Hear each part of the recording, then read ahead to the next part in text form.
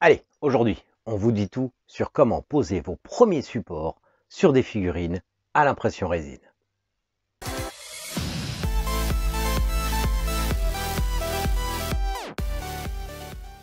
Bonjour à tous et bienvenue chez Serial Printers. Oui, aujourd'hui, on va aborder un petit peu le thème des supports, de vos premiers supports, version débutant. Parce qu'on pourra aller encore plus loin, mais on en parlera dans d'autres vidéos. Parce que d'abord, il faut comprendre, comprendre comment les poser, les endroits exacts où il faut les poser et pourquoi. C'est vachement important pour aller plus loin. Et vous allez voir que les logiciels qu'on vous fournit avec les imprimantes 3D, eh ben, ils peuvent faire une bonne grosse partie du travail pour vous et qu'il ne faut pas hésiter à en profiter. Alors aujourd'hui, on va utiliser une barbare dessinée par la Louve 3D. Alors comme vous voyez ici, c'est la version sans support. Donc quand elle apparaît, elle apparaît plate comme ça ce qui n'est pas forcément la bonne configuration. Ni même de la mettre debout. On pourrait croire qu'en la mettant debout, ça sera plus simple, mais en fait, la machine ne va mettre pas assez de support et va poser problème. Donc, l'idéal est de l'incliner légèrement. Si possible, sur une face où il y aura moins de soucis pour retirer les supports et moins de marques à ébavurer. Donc, je vais l'orienter pour la mettre légèrement inclinée. Puis, afin d'avoir des supports qui sont corrects, je vais la surélever légèrement du plateau. Sinon, il n'y aura pas de support sous le pied droit, ce qui va poser problème. Il y a un risque que l'impression se passe mal au niveau du départ, que ce soit trop collé et que ça abîme le pied. Donc, il vaut mieux le surélever et que ce soit les supports qui soient sur la base. Donc ensuite, on va dans l'éditeur de support, où là, on va pouvoir voir qu'on a plusieurs configurations possibles. On va avoir des supports light, medium ou heavy. Alors, léger, moyen ou lourd. Ça va dépendre essentiellement de la taille et du poids de la figurine qu'on accroche. Si c'est une très grosse figurine, si on met des supports trop légers, elle risque de se décrocher par son propre poids pendant l'impression et du coup de faire un raté. Donc, si vous avez un doute, utilisez médium. C'est un peu passe-partout. Si c'est des petites figurines, light, franchement, c'est largement suffisant. Ensuite, on peut voir qu'il y a énormément de possibilités de configurer les supports. Alors aujourd'hui, on va faire simple parce que c'est la base de la technique des supports pour débutants. Donc on ne va pas trop se focaliser, on va laisser le reste tel quel. On va d'abord essayer les supports automatiques. Oui, la machine peut vous faire des supports automatiques. Il faudra penser bien sûr à cocher Holo Mesh, alors ça, c'est le remplissage si la figurine est creuse pour qu'il y ait des supports à l'intérieur, sinon ça vous posera problème. Ensuite, il y a quelques réglages. Vous avez la densité de support qui va être le plus intéressant. Le reste, vous pouvez ne pas toucher. La densité de support, c'est à quel point le support automatique va en mettre. Si vous n'en mettez pas assez, vous lui indiquez de ne pas en mettre assez, ça risque de ne pas tenir. Trop, ça va être difficile à dégrapper. Donc on va déjà essayer avec 80% et voir ce que ça nous dit. Vous voyez, ça m'a construit toute l'architecture de support. Donc c'est très facile à faire. Mais souvent, ça suffit pas tout à fait. Parce que même si la machine fait bien, et tous les logiciels ne font pas aussi bien, on verra sur Cura après, il va y avoir des fois des manques à certains endroits. Alors, le principe de base, quand on regarde la figurine par tranche et qu'elle s'imprime, on va pouvoir voir qu'il me éclaire des zones en rose. C'est les zones où lui suppose qu'il faut des supports. Et on va voir après qu'il y a des zones qui m'a pas mis en rose et pourtant qu'il aurait bien fallu. Donc il va falloir chercher un peu plus loin. Pour ça, c'est tout simple. En baissant sur le côté, on va pouvoir voir la tranche. En relevant, on voit à un moment donné qu'il y a une zone qui apparaît. Une zone qui, du coup, est dans le vide. Cette zone, doit absolument avoir des supports. Les supports doivent commencer ici, puisque la machine va construire d'abord les supports avant d'arriver à la figurine. Et si on veut que les supports se poursuivent en figurine, ces zones qui apparaissent doivent absolument avoir des supports. Et comme ça construit à l'envers, si je vous mets l'écran à l'envers, on voit qu'il y a, en remontant, des zones des fois qui commencent dans le vide. Donc il faut bien qu'il y ait un support qui parte depuis la base, qui aille jusque là pour commencer dans le vide. Sinon, si l'éclairage se faisait dans le vide sans support, Oui, ça le durcirait, mais ça tomberait au fond du plateau et ça ne servirait à rien du tout. Donc là, cette partie-là, vous voyez, il m'a pas mis de rose. Alors que pourtant, il en faut absolument. Il faut commencer à mettre des supports au niveau du talon. Sinon, le talon va commencer à s'imprimer dans le vide ça servira à rien. Si je régénère des supports, voyez, il m'en met un au niveau du talon. Bien sûr, sinon ça commencerait dans le vide.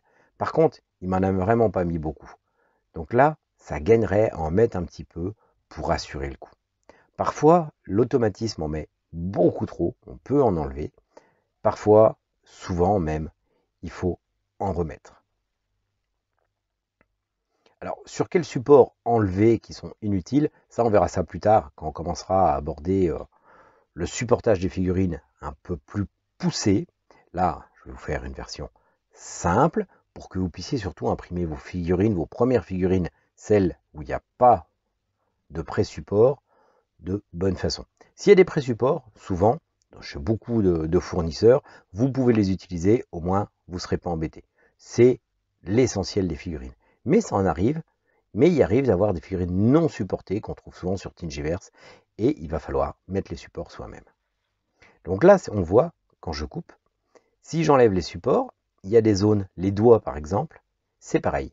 Ils commencent dans le vide. Donc il va falloir qu'il y ait des supports qui commencent au bout de chaque doigt. Alors, dans l'automatisme, il émettait. Ce n'était pas trop, trop un souci. Si jamais, en observant la figurine sous cet angle et en faisant varier la découpe, vous voyez qu'il en manque, qu'il y a des morceaux qui commencent sans support, il faut absolument les rajouter. Là, on peut voir en dessous qu'il y a quelques endroits, des fois, qui sont susceptibles de commencer sans support. Donc, il va falloir utiliser le côté pour voir les tranches, pour chercher les endroits qui commenceraient sans support. Pareil, si vous voyez des fois qu'il y a des grandes distances inclinées pas un support, n'hésitez pas à en rajouter un ou deux, parce que sinon, l'étagement, oui, va se faire, mais il y a un petit risque que ça ne soit pas parfait. Là, ici, on peut en rajouter au niveau de la cheville. Alors, voyons voir maintenant si je teste en remplissant à la densité à 100%. Là, il va me configurer le maximum de ce qu'il peut mettre. Et même au maximum, eh ben, on voit qu'il y a des zones hein, qui sont encore roses, mais si on cherche bien, on va voir qu'il y a des zones où il en manque un petit peu et où il faudrait absolument qu'il y en ait. N'hésitez pas à zoomer pour voir de plus près, surtout quand vous procédez au tranchage sur le côté pour voir, ça vous permettra de chercher ces petits endroits. Par exemple, ici, là, on voit qu'il manque un support. Si je reviens en arrière, doucement, on va voir qu'il y a une petite zone qui va commencer quasiment dans le vide. Alors on pourrait croire qu'elle est accrochée, mais en fait l'accroche est si minuscule, franchement, il vaut mieux rajouter un support juste là. Là au moins, on est sûr que ça partira bien. Alors ça peut paraître un peu long et fastidieux, mais c'est vachement important. Si vous ne faites pas ça, vous risquez d'avoir des gros ratés d'impression. Et si vous avez des gros ratés d'impression, tout partira à la poubelle. Alors oui, des fois, d'avoir un peu plus de support, ça va coûter plus de résine. Mais il vaut mieux ça que de rater complètement qui va vous coûter encore plus de résine. Là, on peut voir que l'automatisme est bien fait quand on rajoute des supports. Si je veux rajouter un support sur le côté qui risque de passer à travers un autre, il va me le décaler. Alors attention toutefois, des fois il y a des supports quand on les pose qui peuvent être à un moment donné touchés un autre endroit de la figurine et coller contre. Alors, il y a aussi d'autres techniques. Là, on a utilisé la verticale. Si j'utilise la version arbre, tree, on voit que les supports vont être différents. Ça va coûter un petit peu moins cher en support parce que les supports vont se diviser. Alors, quand on fait des petites figurines qui sont pas trop lourdes, cette option est vachement intéressante parce que du coup, ça va coûter moins cher en support et ça sera suffisant pour porter les figurines. Surtout si on le met en light en haut, donc en léger avec des supports fins. Il faut quand même bien s'assurer que tous les endroits partent bien, comme d'habitude, et éventuellement rectifier. Si je le mets à 100%, vous voyez que ça manquerait beaucoup plus. Ça manquerait même des fois à des zones qui vont partir d'un endroit d'une figurine à un autre endroit de la figurine. Ça va faire un peu plus à ébavurer, mais au moins ça parvient. N'hésitez pas à regarder la figurine sous toutes les coutures pour voir s'il n'y a pas des supports qui touchent, qui ne vont pas, qui posent problème, ou surtout s'il en manque pas. Là, par exemple, clairement, il en manque encore. Comme je vous disais tout à l'heure, il y a des endroits où il faut améliorer un peu la longueur de la jambe, l'arrière de la cheville, le pied euh, gauche, il y a plusieurs choses à améliorer. Alors, je vous disais tout à l'heure, si on la posait debout, en se disant ça va mettre moins de support, on va économiser un peu de résine. Oui, effectivement, ça en met moins. Mais justement, ça va en mettre souvent pas assez. Là, il y a des chances que la figurine se décroche et vous avez aussi beaucoup de supports qui sont entre deux morceaux de la figurine, ce qui va vous donner plus de mal à la dégrapper et vous risquez d'avoir des ratés. En plus, la face avant, qui va être la face qu'on va le plus présenter, va avoir plus de marques de support. Il vaut mieux les concentrer aux endroits où ça se voit le moins. D'où le fait de l'incliner. Généralement, vous inclinez à peu près de 20-30 degrés et vous êtes pas mal. Ça correspond à pas mal de figurines. Alors bien sûr, après, en allant plus loin, vous allez trouver aussi des autres options. Mais ça, on y reviendra plus tard. Le support automatique, c'est quelque chose qui marche très bien, mais qui ne suffit pas. Alors bien sûr, on peut ne pas l'utiliser et faire tous les supports à la main, ce qui est encore beaucoup plus long. Ça fera l'objet d'une autre vidéo où justement je vous montrer exactement comment maximiser vos supports et comment aller plus loin. Là, on va rester simple sur des techniques simples et surtout apprendre à bien les placer et ne pas avoir de fail. Donc, cherchez tous ces petits endroits qui commencent dans le vide où des supports auraient été oubliés et toutes ces grandes longueurs qui des fois manquent un peu de support et risquent de s'effondrer, ne pas se construire correctement, n'hésitez pas à en rajouter un peu, comme sur la longueur de la jambe là. Il vaut mieux toujours un petit peu trop de support que pas assez. Et petit à petit, je reconstruis, j'en rajoute à tous ces endroits où je pense qu'il peut y avoir des ratés et je n'hésite pas. Alors bien sûr, il y en a d'autres des fois qui servent à rien. On maximisera ça plus tard en vous montrant comment aller beaucoup plus loin. Alors si je passe sur Cura, c'est le même principe. Comme je vous ai dit dans une vidéo précédente, c'est les mêmes principes. Les, grosso modo, ils fonctionnent pareil. Cura, je trouve que pour les supports, il est un peu plus efficace quand même comme logiciel. Déjà, il se présente de la même façon, en français, ça c'est cool. Vous avez le choix de l'épaisseur, de la façon dont ils vont se faire, de beaucoup de choses où on ira plus loin après, mais si vous le faites en automatique, comme sur l'autre, vous allez voir que les supports sont un peu moins, un peu mieux construits, et surtout qu'il y a moins d'oubli à certaines zones importantes. On peut voir là, sur le pied, que les supports, il y en a un peu plus, le long de la jambe, et à plusieurs endroits qui avaient été oubliés par l'autre programme. Moi, je trouve que Cura, pour ça, il est quand même largement mieux. Après, il y a des tonnes de logiciels autres mais chacun au final va se présenter de la même façon. Mais alors, même sur Cura, faut pas croire que ça fait des miracles. Il va falloir bien vérifier exactement sur le même principe, en utilisant la trancheuse sur le côté et en vérifiant chaque petite zone s'il n'y a pas quelque chose qui commence dans le vide ou des grandes zones où vraiment il n'y a pas de support. Mais la Cura me le fait quand même carrément mieux. Et pourtant, je l'ai mis qu'à 50% en densité il n'y a quand même pas grand chose à rectifier. Une paire de petits endroits on peut rajouter, mais franchement, l'automatisme est quand même assez bien conçu sur ce type de logiciel et vous pouvez en grande partie vous baser dessus pour commencer à supporter vos figurines. De là, vous n'aurez que quelques supports à vérifier, quelques endroits à fouiner un peu pour être sûr. Mais la plupart du temps, ça va vous faire quand même une grosse partie du travail et bien vous aider. Donc, vous embêtez pas aller chercher trop loin, à vouloir absolument faire support par support dès le début. Commencez simplement par utiliser les possibilités du logiciel qui va vous faire une très grande partie et franchement relativement bien. Il va juste falloir l'améliorer un peu.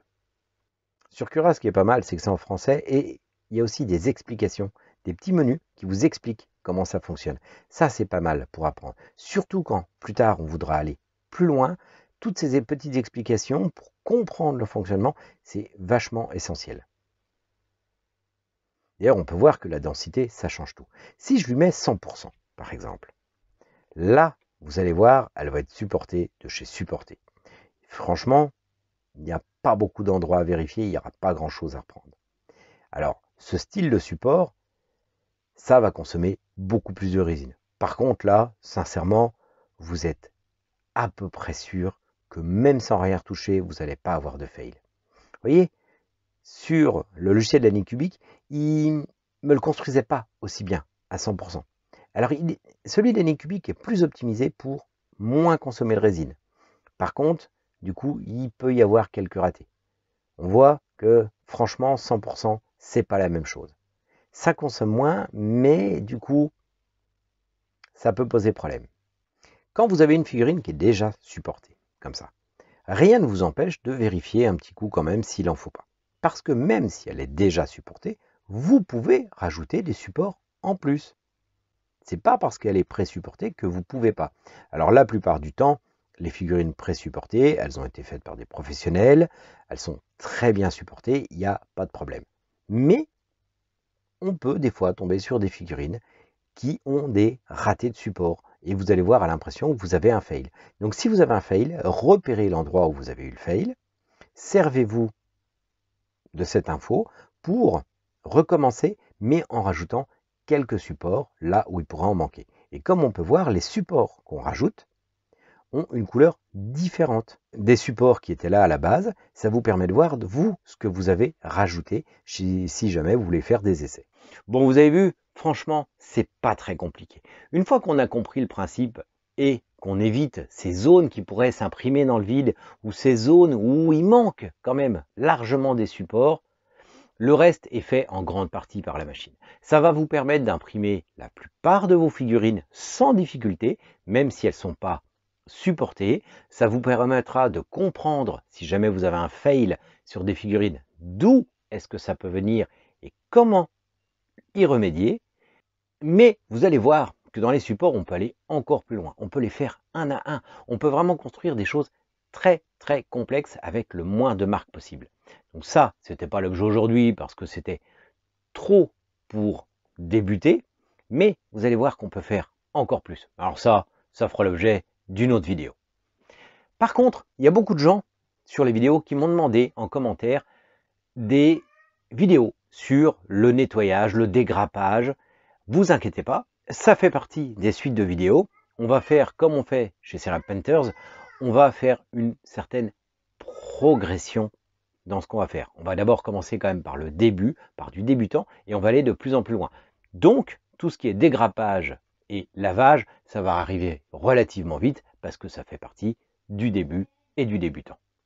Bon, pour ceux qui n'ont pas reconnu la figurine, alors la figurine, elle a été designée par la Louvre 3D, hein, une, euh, une amie québécoise qui fait du dessin 3D, qui fait de très très belles choses, qui a fait un Kickstarter il n'y a pas longtemps. Donc N'hésitez pas à chercher la Louvre 3D sur Internet, vous trouverez ces pages et vous verrez, elle a de super choses. Quant à moi, je vous dis à la semaine prochaine pour de nouvelles aventures.